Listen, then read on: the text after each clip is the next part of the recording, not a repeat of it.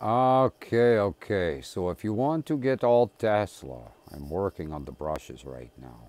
But if you want to get all Tesla and really deeply understand this coil right here, when this is configured correctly, can be used as a magnetic diode.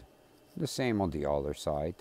You're going to make a south pole here a north pole on the other side. That means a north pole will be sticking out here and a south pole will be sticking out on the other side. That is going to only allow on the south pole the positive to flow through in one direction. It will stop the negative. And on the other side the same. And we should have DC output. Now this coil, one end connects to your generator brush. and then the other end connects to the output of the coil. The same on the other side. I don't know. Should work. That's what common sense be tell me.